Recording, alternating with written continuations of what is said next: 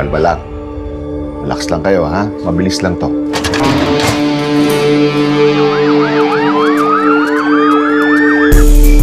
Ready ka na ba sa mga trip? Ako si Dencho, ang ama ng pamilyang ito. Sa lahat ng gago, ikaw ang highly recommended. Ano pangalan mo? Alpo. Welcome sa pamilya Alpo. Negosyo to.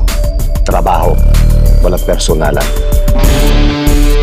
Aantayin mong dumapo yung langaw at dahil nga paatras yung paglipad niyan, titirahin mo patalikod. Baka nagdududa na sa'yo. Ang batas sa digmaan, kailangan kilalanin mo ang iyong kalaban. Anong balak niyo? Iniisip ko lang kung hanggang kailan ang buhay natin na ganito. Ano pang ginagawa natin dito? Mag-ready ka.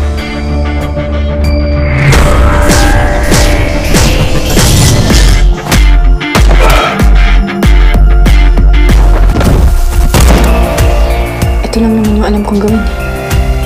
Magnakaw. Sa tingin mo, Baal, hayaan kong itakbo mo ang pera ko.